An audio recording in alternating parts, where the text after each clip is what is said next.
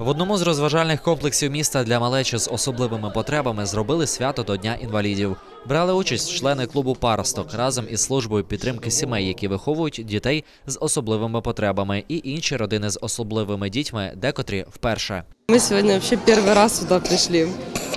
Э, Мы вот с Виталием Михайлишиным очень часто встречаемся на таких мероприятиях, потому что он постоянно поддерживает э, детей-инвалидов. Э, Вот. С ним мы, конечно, почаще в реабилитационном центре видимся. Тетяна розповіла, що атмосфера свята їй подобається і рада, що меценати можуть подарувати дітям щастя, а на додаткову допомогу від держави не сподівається.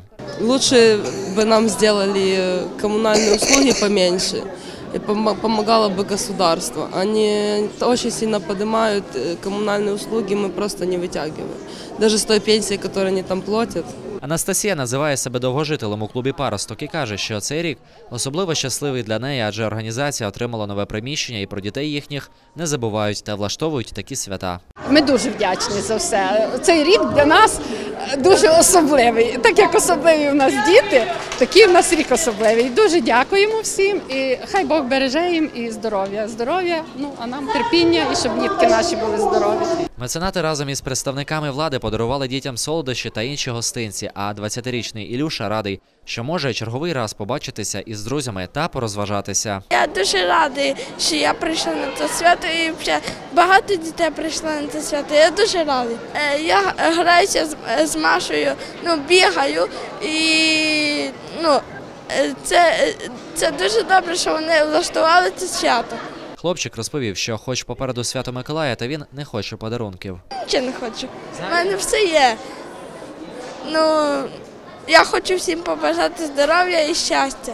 Алла Підгородецька атмосферою свята задоволена. Жінка рада, що меценати звертають увагу на проблеми таких дітей. не вистачає іменно спілкування. Я говорю, що нашим діткам наші дітки особливі, і їм не потрібні гроші, їм не потрібні бізнеси, їм не потрібно це. Їм просто треба, щоб вони могли пого- поспілкуватися з такими ж, як вони, і навіть з обичними людьми. Мати дитини з особливими потребами розповіла, що однією з головних проблем цих дітей це те, що дуже велика частина суспільства їх сприймає неадекватно. Ситуацію могли покращити батьки, розповідаючи, що такі люди повноцінні члени суспільства. Дітей з маличку. Пояснювати, не треба виходити, не треба вбивати в голову, а просто пояснювати, що вони такі самі, як і ви, просто трошки не так, трошки відрізняються.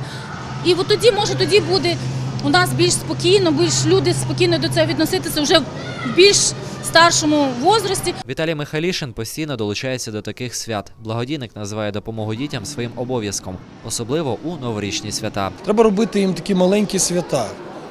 Я впевнений, що все ж таки хочу цим всім дітям побажати здоров'я. І я дуже хочу, щоб е, ці діти росли саме і стали тим, ким вони хочуть бути. У кожного з них є мрія. І я впевнений, що ця мрія здійсниться. Учасники свята не лише отримали подарунки, але й грали в різноманітні ігри. Каталися на роледромі, пробували себе на різноманітних симуляторах, грали у повітряний хокей.